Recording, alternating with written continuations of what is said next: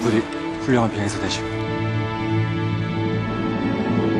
조선 최고의 비행사들이 간다!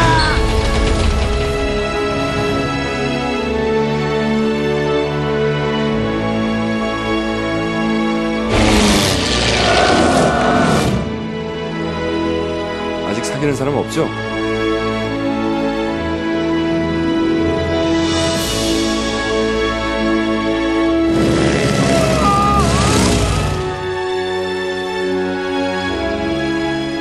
優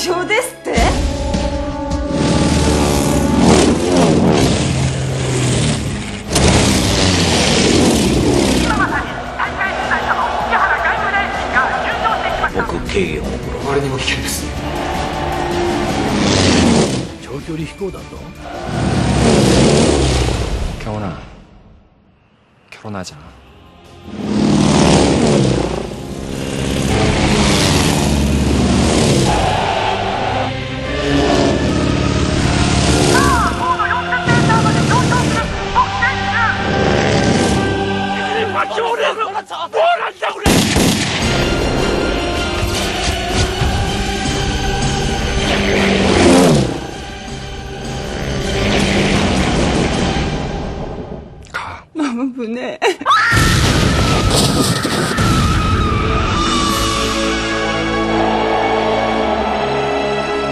아마도 난 많은 사람들이